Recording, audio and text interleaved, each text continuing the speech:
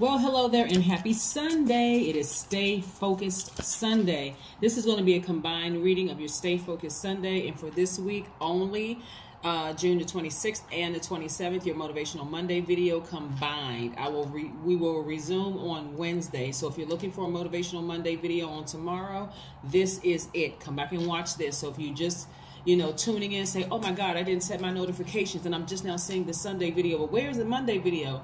For this week and this week only, this is the plan for it to be um, combined. I'm trying to help you all get across this, um, like to finish strong, because again, expansion, expansion, expansion. That's what we're talking about. That's the theme of this month is expansion, because we had that full moon in Sagittarius, your sign. You're ruled by Jupiter, the planet of expansion. Good luck, good fortune. I'm trying to help you get there. Let's go. Let's go, let's go, let's go. If your dreams have become very vivid lately, like all of a sudden you're like, oh my God, I feel like I'm sitting in the movie theater of my own dream. It's just vivid. I remember stuff that I didn't remember before. Oh my goodness. That's because we're moving towards a new moon in Cancer, right? Cancer is ruled by the moon, which is aligned to our feelings, subconscious habits, moods, emotions, okay? So yeah, somebody is really on fire and I love it, love it, love it. Here we go. Lots of fire, fire, fire. And you are a fire sign. Four of Wands. Yes. We have the Ace of Wands. Yes. We have the Nine of Wands. Yes, somebody is coming through smoking. I love it. Here we have the Queen of Wands. Uh-huh. We have the Eight of Cups and the Knight of Cups, right? Somebody is really taking the time to do the work on themselves because you all are really sweethearts. You're really a nice sign. You all are um, you all are smart. You're caring. You all are deep thinkers.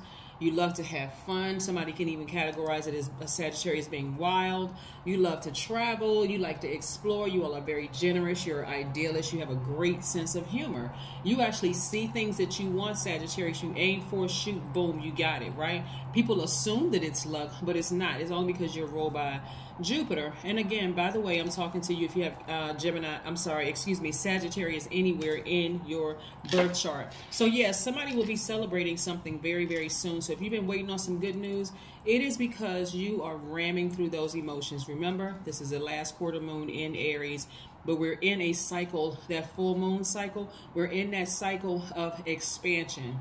Remember, the full moon was in Sagittarius. So yeah. So you walking away from energies that you felt like who burned you in your family who who burned you in friendships who burned you in jobs you're releasing all of that right? I mean like it, you're releasing so much in fact that you're going to feel like you hit like the jackpot like emotionally like oh my god it just seemed like one good thing is happening for me after the other because you walked away from feelings of being burned right not walking away bitter. Just like, okay, well, you know, it is what it is. Let me just move on, right? And of course, I'm only talking to a remnant of people. It's not going to hit 100% of the people. Some people are still kind of in their feelings, right? Because again, this is requiring, this is going to cause some people to kind of step out of this comfort zone of just trying to adjust. What I mean by that is a mutable sign. Let's say, for instance, in your hurt state, you called up some people and told them, you know, I never trusted so and so. They were phony. They were this, that, and the other. If that person is is on that same low frequency of talk, then yeah, you're going to try to adapt, justify how you really feel. But if you went somewhere and you say, I'm going to isolate myself and I'm going to really talk to source and go within and see, okay, why do I keep attracting certain types of energies to me? Why is it has to be me? Right? You ever heard that saying, Sagittarius? Everybody can't be wrong. Okay, you don't even need to buy into that. Like some every, everybody could be saying the same thing about you, but who is everybody when every this the everybody that they're talking about is such a small group of people? It can't possibly be everybody. So you can't even buy into that. It's not 9 billion people on the planet saying, yes, that's how such and such Sagittarius is. No. Some of you all are going to be celebrating outside of your new home. Some of you all are going to be celebrating outside of your job. Some of you all are going to be celebrating just celebrating, right? Because you had to raise your frequency in order to get it.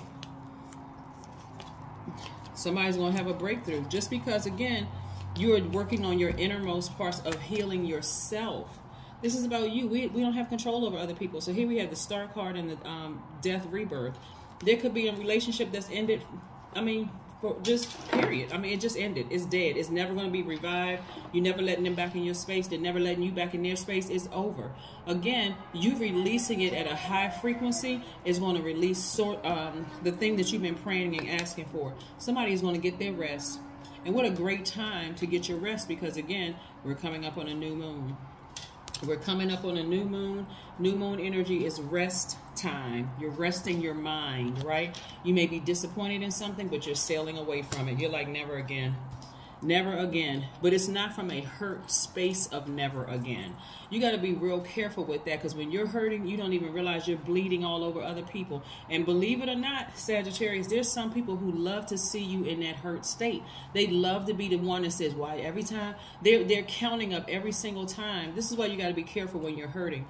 Some people are counting up every single time you've come to them hurt so that they can eventually come back and say, you know, cash in I was there for you when you needed X, Y, and Z to use it as a guilt trip to hang over your head. That's why when you're hurting and you're bleeding all over the place emotionally, it's best sometimes just to talk to God. That's it.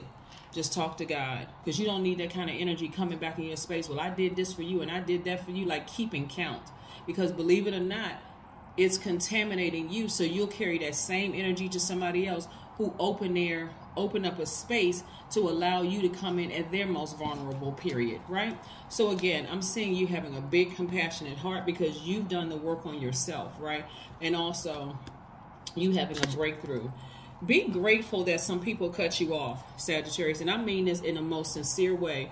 Be grateful for healed people coming across your path who saw that you were bleeding all over the place, and the best help that they could offer you was to cut you off be grateful for that because sometimes you need to be isolated and everybody if everybody around you that you're coming across their path is not calling you anymore isn't reaching out to you or whatever is it them or is it something that you need to look at within right so that's what's the realization that somebody's had. Somebody's like, I'm a really nice person.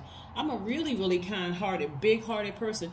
How can you? How can anybody see it if you're bleeding all over the place? Because again, you're trying to adjust to people who have been hurting you for so long. You don't even realize you're hurting people around you, right? Sometimes you need to cut your family off for real. Sometimes it is them. Sometimes you need to cut your own family off because they're the reason why they're. And I'm not. It's not. This is not point finger time but their their energy is the reason why you're so contaminated you can't even see good people around you and people can't see the good in you it goes both ways Sagittarius, you all are really, really good people. I don't need to tell you that. A lot of you all know that. But I'm telling you, when I look at this reading right here, some of you all family have contaminated you so bad and hurt you so bad, you don't even realize you're hurting other people. So people can't see the good in you. Cut them off. If you really want to finish strong, cut them off. Two of Swords. Deal with those repressed emotions. Your ancestors are like, come on now. You got your back face to your emotions. Somebody was being very, very stubborn about the, the fact that they needed some healing. If you have mental health issues, hey, there's no shame in that. Some people's family had literally driven them crazy. That thing is generational. It's like a generational curse. And people keep justifying it. Somebody needs to pop the lid off of it and say, okay, I'm a, I don't care how ugly this thing is, I need to deal with it. If you were labeled the black sheep of the family, consider yourself lucky because you were the one that was brave enough to step out on faith away from the rest of the ones that were being led into a slaughter. You were the one that was able to brave enough, but of course they're all sitting over here chatting about you. Oh, look at Sagittarius, think they better. That you know they they they got a little lucky, but you know don't ever forget where you came from. Somebody needs to, as the black sheep, needs to keep walking forward and never look back. Cut them off. Cut them off. If you really, really want to see some expansion, here we have the Seven of Cups. If you really want to see some expansion, see, it's tempting. Uh, let me help somebody with this, the Seven of Cups, this means temptation on every card. Somebody is tempted to, every time you become more successful or good things happen in your life, you go back and try to reconnect to the same people that hurt you, Sagittarius. I'm trying to help you. I'm trying to help you get across this line. Stop going back to the people that hurt you to show them, see, I am successful. I, I, if I can do it, then you can do it too. You're trying to, it's like a person who's like, see, I want a spelling bee. Like it's still a little kid in you that's trying to look for them to validate you when they haven't even, they haven't even looked within themselves to validate themselves. They're not even healed. See, I won a spelling bee.